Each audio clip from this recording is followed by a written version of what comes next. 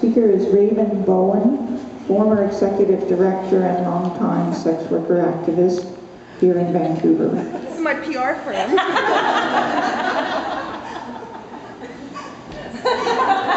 Uh, Anyone else want?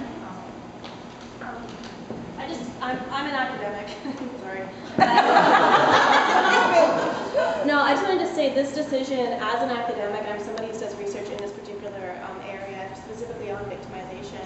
And one of the biggest things about this decision in uh, the courts was how much attention they paid to the evidence. And that is such a crucial thing moving forward because that's how we can actually determine what's really happening. We're moving beyond rhetoric, moving beyond moral judgments about different things. We're looking at how does the evidence actually say? And can we move forward with evidence-based strategies to actually target when harm and exploitation are actually occurring?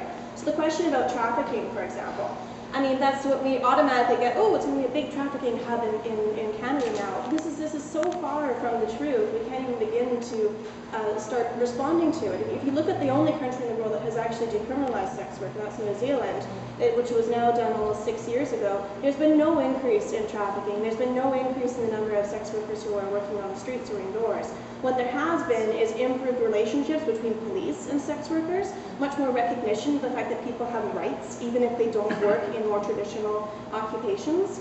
And so this can speak to a lot of different groups out there who are marginalized and criminalized, and it just echoes the fact that we all have these rights. So I'm just thrilled from a very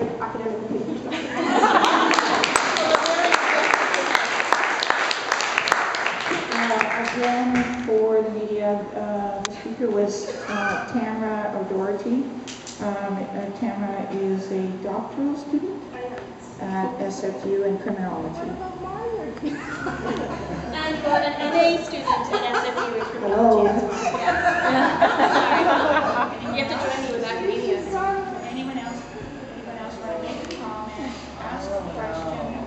The media is here on a certain time frame, and they would like to do some thorough interviews, so, but please, if you have anything to say, you're welcome to say.